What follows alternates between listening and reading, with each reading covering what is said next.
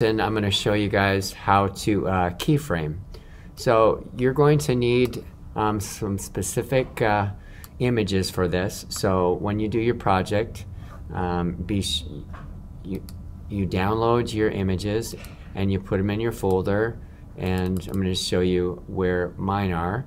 So I have mine right here, um, but yours you will download and have in your own folder.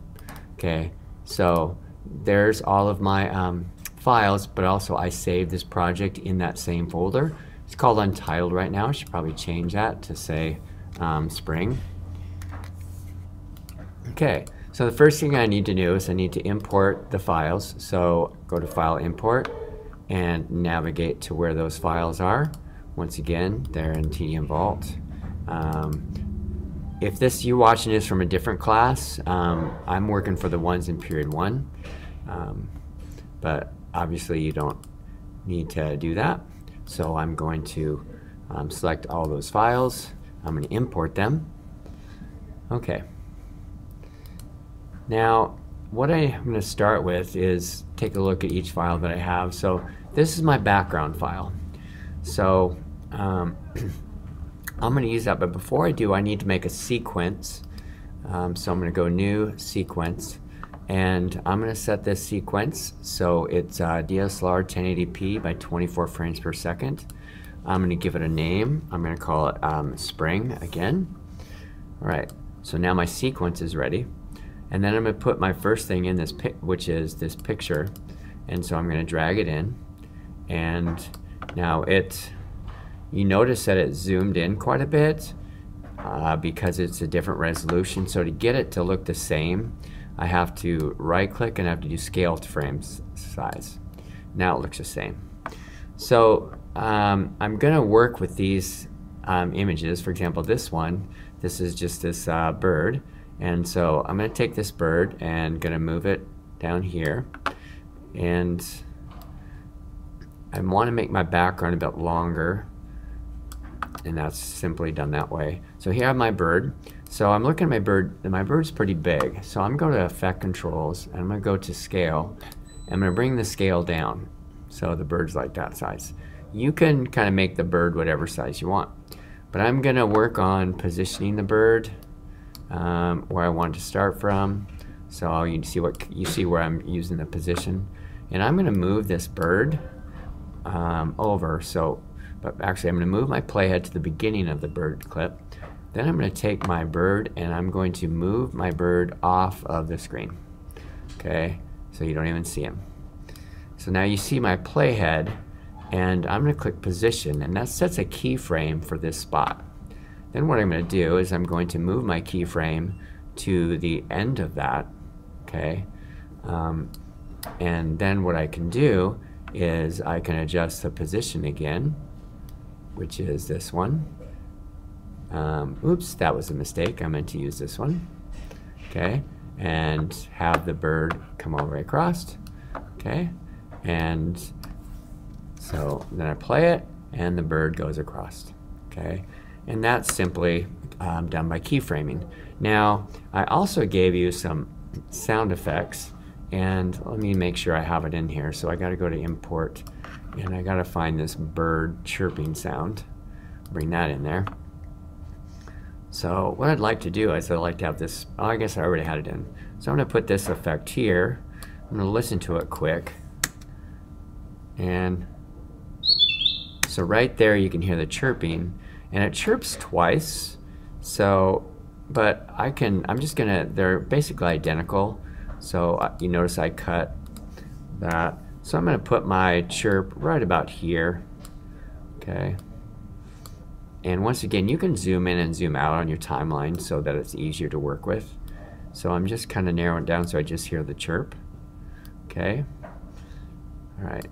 And I'm going to make a copy just in case I want to use it again. So copy paste. Um, gotta do edit paste Okay. and then move my chirp. So my bird chirps twice. So now I play it, and the bird. Okay, so that's basically how you keyframe.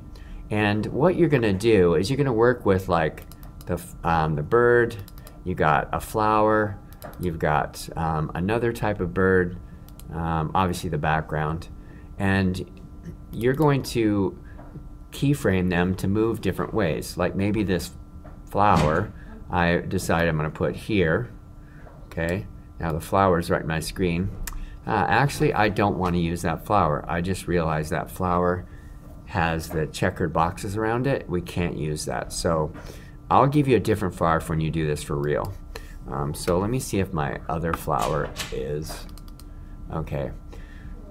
So I'll get you the other flowers in here, but let's just pretend that this bird is a flower, okay?